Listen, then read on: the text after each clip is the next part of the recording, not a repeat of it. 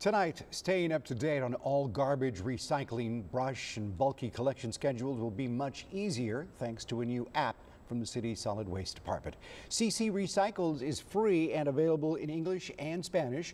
Those who download the app are able to sign up for weekly collection reminders and notify the city of problems with collection service or report broken carts.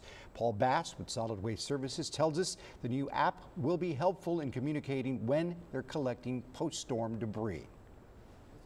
mechanism for us to target areas of the city, let them know uh, where we are in our in our uh, debris collection schedule, and so they can track us a little bit better on on what we'll be doing. Now, Bass adds that the app can show you how to properly dispose of specific waste or products. It's available for download now for both Apple and Android users.